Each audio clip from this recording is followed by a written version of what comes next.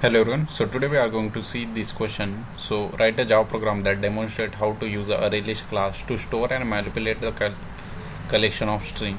So let's go here. I will create a ArrayList. Okay.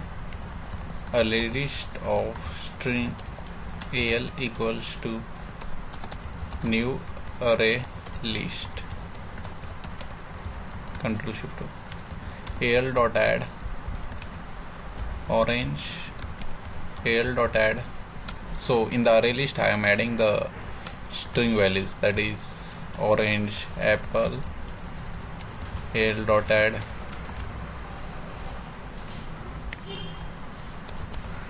Banana. So this is the way we can add uh, the elements in the given array list so whatever data type you want to store into the array list so here I am using a string. So that's why I have given a string. So to add elements. Now printing the elements. So uh, for loop we have string and array list variable name sysout yes. So it will print one by one all the this whatever element present in the array list here we go orange apple banana now next one is uh, to remove. So I want to remove the apple from this array list. So what I will do is al dot remove. You can give the index remove the element at a specific specified position in the list or the object. Remove the first occurrence of the specified element. First I will remove with the object one remove apple.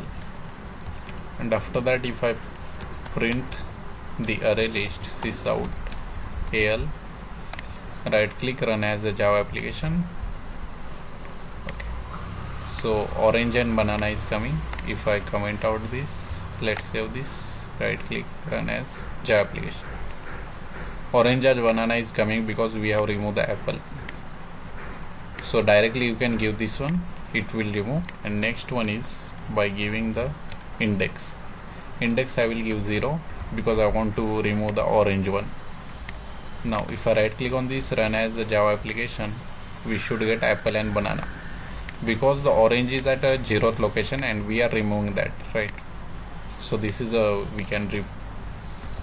Now if you want to get get from some specific location now 0 1 2 so indexing in the array list will be from 0 to from 0 it will start.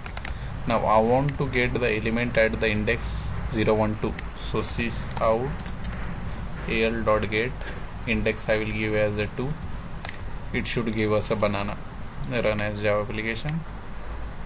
It should be banana now at the index 1 I want to take 0 1 2 apple should be get right click run as java application. We should get apple. So yeah. So this way we can add the element in the array list then we can like print by using this for each loop. Then we can remove by using uh, giving specific object or you can give the index.